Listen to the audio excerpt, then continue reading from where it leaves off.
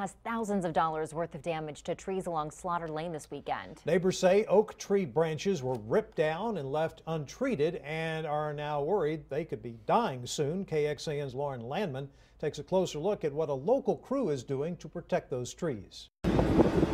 Neighbors shot this video on Saturday of the large truck after it made its way down Slaughter Lane, ripping branches off oak trees on both sides of the road. It really hurts to see these trees torn up like this. Dozens of limbs were still scattered along the road stretching about a mile Monday morning. You can see it's a pretty good sized branch.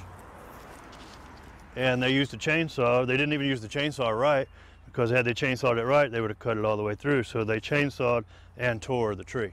Trent Patterson says this wasn't a free trim for the neighborhood because the trucking company didn't properly treat the trees, leaving them open to a fungus that could kill them. We have a severe oak wilt problem around here, and these trees are all now susceptible to oak wilt. So if one tree ends up getting it, it's going to travel through the root system to the next and to the next. That's where Brent's Tree Service comes in. It says the trucking company called them to clean up their mess. Obviously, I don't think they had any idea what they've gotten themselves into. The tree company is looking at every branch ripped up, cutting it the proper way, sealing the limb, and sanitizing between each tree to make sure they're not spreading any fungus. I believe that we're going to be okay. Lauren Landman, KXAN News. City of Austin says it has also dispatched a crew to take steps in preventing oak wilt.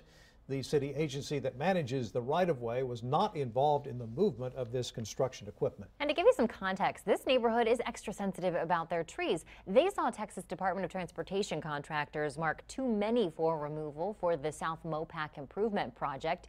We reported back in January that TxDOT acknowledged the mistake and kept those trees from being axed in time. The agency is also working with the Lady Bird Johnson Wildflower Center to replace native plants that have been uprooted by that project. Tonight on KXAN.